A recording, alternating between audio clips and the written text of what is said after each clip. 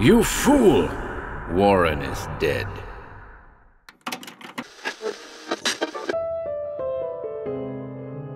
Welcome to HorrorBabble.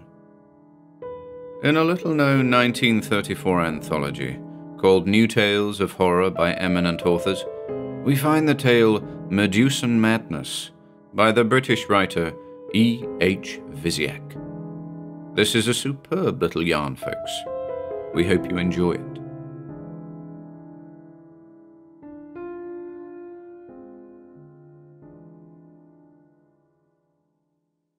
Medusan Madness by E. H. Visiak. The dreariness of the place was beyond expression. It had once been an ornate mid Victorian mansion, and externally nothing had been altered. There were even peacocks there. As I sat on the balustraded terrace, with its grey, corroded cupids, a peacock screeched now and then from somewhere in the grounds. The extensive lawns seemed to hold something dismally unnatural in their bleak, bright greenness, appearing queerly dull in the distance, on the fringe of a grey dark plantation. The month was October, and the time late afternoon, but nothing could have dispersed or modified the blight in that atmosphere, not the most genial summer sun. A few of the inmates were moving here and there about the side paths. I especially noticed a very tall old lady with silvery white hair who walked with a stick, but extraordinarily upright. What beautiful hair that woman has, I said to my poor friend. Yes, and she's got a beautiful mind, too, he answered in his slow, gentle voice. I couldn't possibly endure this if it weren't for her. Why is why is she here? She wouldn't mind your asking that, and, and I'm sure that I don't. She is here because she is sane. I see, I said. What do you see? A rather pretty young woman bringing our tea, I answered, laughing, but suddenly arrested by the look in his eyes. It gave me the impression of a pang. Pretty, he groaned. Oh, my God! He sat silent, with an appearance of intense stillness, as if he were frozen. He seemed to be staring at something that he saw in the air, but the expression in his eyes was so terrible that I could not look at them. In the meantime, the maid set down the tea things, glanced at him and at me, rather peculiarly, I thought, and went her way.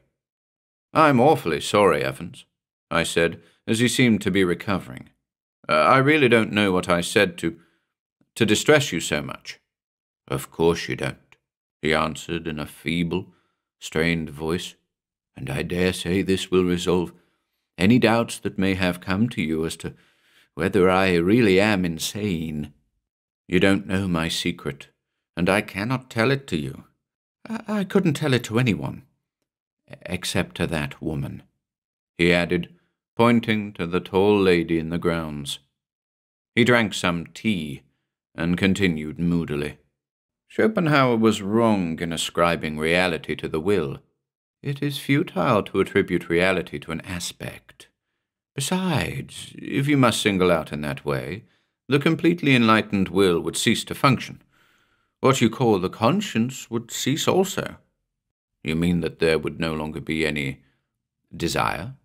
Desire would be swallowed up. There would be no more sea.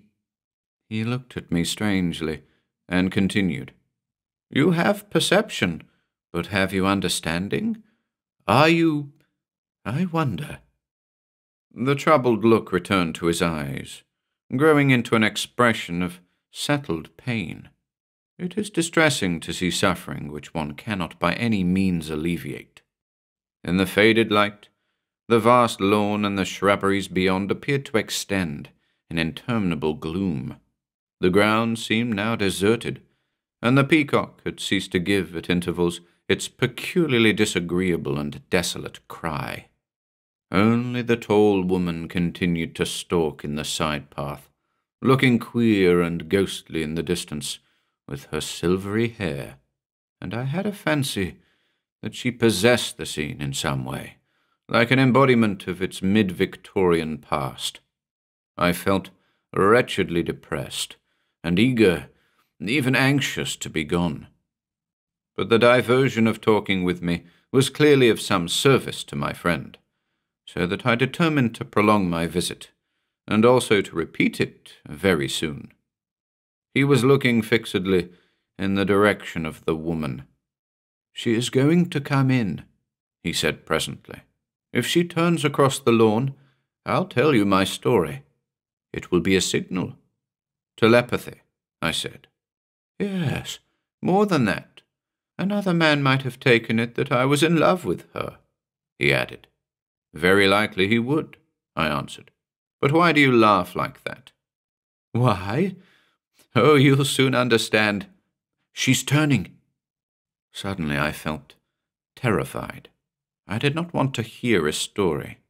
I dreaded it. I had divined it somehow. I do not mean specifically, but essentially and atmospherically. Are you. Are you, I asked, quite sure that you want to tell me, Evans? Wouldn't it distress you too much? I must tell you. It was off Japan, he went on in a rather disjointed way. Five days after leaving Osaka, where I had put in on a voyage to San Francisco. Ah, it's a long time since I smoked. I had taken out my pipe and pouch. Why did you give it up? I asked, grasping at the chance of a diversion. It gave me up, like other forms of illusion. All except the believing that we do something when we do nothing, I quoted hurriedly. It's not so simple as that, is it? I had a steam yacht, he went on. He did not seem to have heard my question. She was one of the fine nineties yachts, built to sail as well as steam. It was near sunset. Very calm. Yes, very. Breathless, that is the very word. I remember thinking queerly, it's holding its breath. Of course, I wasn't clear what I meant, but I really did feel something. There really was some extraordinary tension, possession, and the sky. It was such an extraordinary, such an indescribable colour. It was intense, intense dark, dark, dark blue. But this did not diminish the light. The light that was so brilliant for me to see. Oh, God! Evans, I cried, as I evaded his look. Do not go on. You're in agony. You can't stand it, Evans. No, I shall be better. She is coming. He pointed to the tall woman who was approaching the foot of the terrace across the lawn. Diomedia, he shouted suddenly. What is the word? She answered with a strange gesture, letting fall her stick, clasping her hands, slowly unfolding them, spreading them out with the palms falling away downward. It was a gesture that expressed absolute emptiness, absolute abandonment. It perfectly expressed this, with the rhythmic beauty of unanswerable, irresistible eloquence. She reversed the movement. I can only describe the effect as magical. I felt that into an immeasurable vacuity there was pouring a welling, solvent tide. You can go on now, I said, feeling the words flow from me like a sigh. I had not observed the woman particularly. She impressed me as being impersonal in some way. I could see her, of course, despite the dim light, and my impression is that she had a strangely classical Greek cast of face and extraordinarily bright, light blue eyes. But it is quite impossible to explain why or how. I am unable to describe her at all clearly. She seemed interior to us, though that is too crudely definite a word to convey my meaning. As to that amazing, wonderful language of her hands, it cannot be described as ceremonial or symbolic, a ritual sign language in any way. It was too immediate, too essential in fact, to be styled language.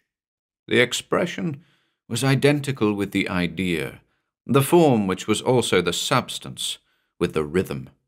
Perhaps, in effecting this inner and also outer visualization, she became or gave the effect of becoming impersonal, and accordingly obscure. She was gone. I did not see her go.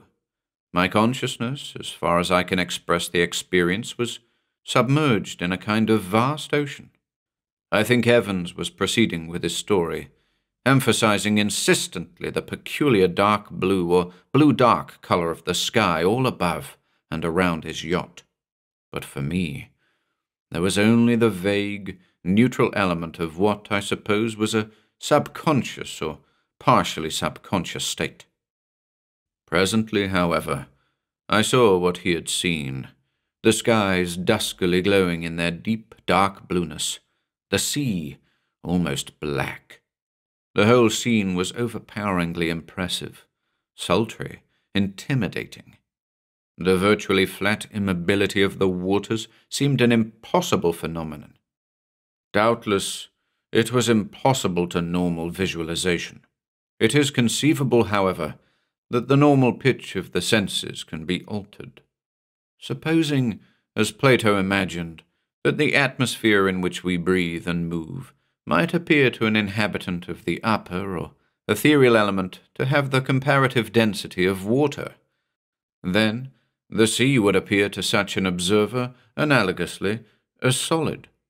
Scientifically, in fact, the ground is not so stable as it appears. It has its waves, which, like the colours above and below our range of vision, we are not able to perceive. Now, I had emerged out of the subconscious state, as I have told. But how, or where? There was something upon that sea. A figure was appearing. I was seized with indescribable sensations, emotions, fear, wonder, amazement, expectancy, strangeness, all uniting, all modifying strangeness. Evans continued, telling his story, divulging his secret, which henceforth was also to be my secret. Incommunicably so, even though in trying to describe what I saw and felt, I strain the ineptitude of words into nonsense. But while I vainly tug at the sense and superficial letter of expression, I cannot but wonder whether, if power were given me, I could transmute, transfuse the pining torment by the force of some liberating symbol. What superlative, irresistible genius might not be operated by the sting and flame of such cratered condensation? A thin steam of vague, insignificant analogies is, at least, some alleviation. The appearance was monstrously beautiful. The figure or creature that suddenly became visible on that sea, so concretely visible against those dark, violet dark, glowing, deep skies. It was as the incarnate bloom of which they were the umbrageous foil. It sweetly, faintly, delicately embodied the moonlike magic which is reflected in the soft splendor of the pole. It was the essential, stark naked, overpowering manifestation in form and voluptuous, smooth, feminine feature of the grace that falls away continually in the brimmed contours of the waves.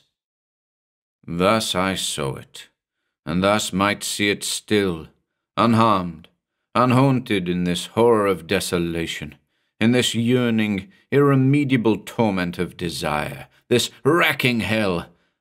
But it stirred it moved. It turned upon me its penetrative, dream-like glance. I did not leave this house. Diomede helps us. She is coming now.